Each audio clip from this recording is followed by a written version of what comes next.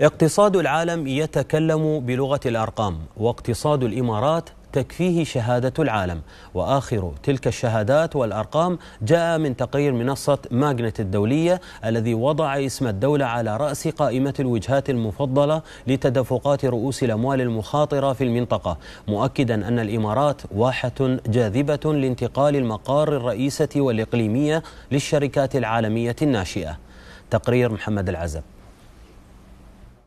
بعد نصف قرن من تحديات التأسيس ثم المواكبة ثم الصدارة تعبر إمارات زايد وراشد وخليفة والمحمدين إلى آفاق أوسع لمستهدفات الخمسين ومحددات مئوية الإمارات 2071 وفق مبادئ المرونة والانفتاح والتعاون مرتكزة على أرضية تنافسية صلبة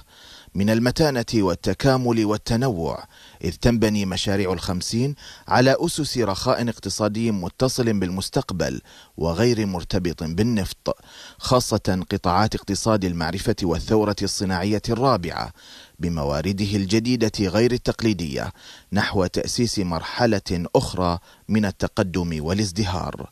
آخر الأرقام تقول إن اسم الإمارات حل مجددا في المرتبة الأولى على مستوى الشرق الأوسط وإفريقيا في اجتذاب رؤوس الأموال المخاطرة للاستثمار في المشاريع الناشئة وفق تقرير منصة ماجنت حول أسواق رأس المال المخاطر وحالة تمويل المشاريع الناشئة في الشرق الأوسط وإفريقيا وتركيا وباكستان لعام 2022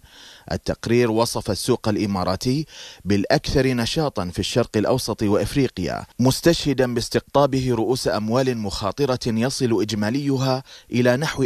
مليارات وثلاثمائة مليون درهم عام 2021 أي ما يعادل مليارا ومائة وخمسة وستين مليون دولار. وتلك قفزة لا يستهان بها في النمو بالمقارنة مع العام 2020 تناهز 93% لتسجل بذلك استثمارات رأس المال المخاطر في المشاريع الناشئة كسرها حاجز المليار دولار للمرة الأولى في التاريخ الإماراتي بما يؤكد أن الاقتصاد الوطني يظل في طليعة ركب نظرائه من الاقتصادات الواعدة على طريق التعافي من الجائحة العالمية.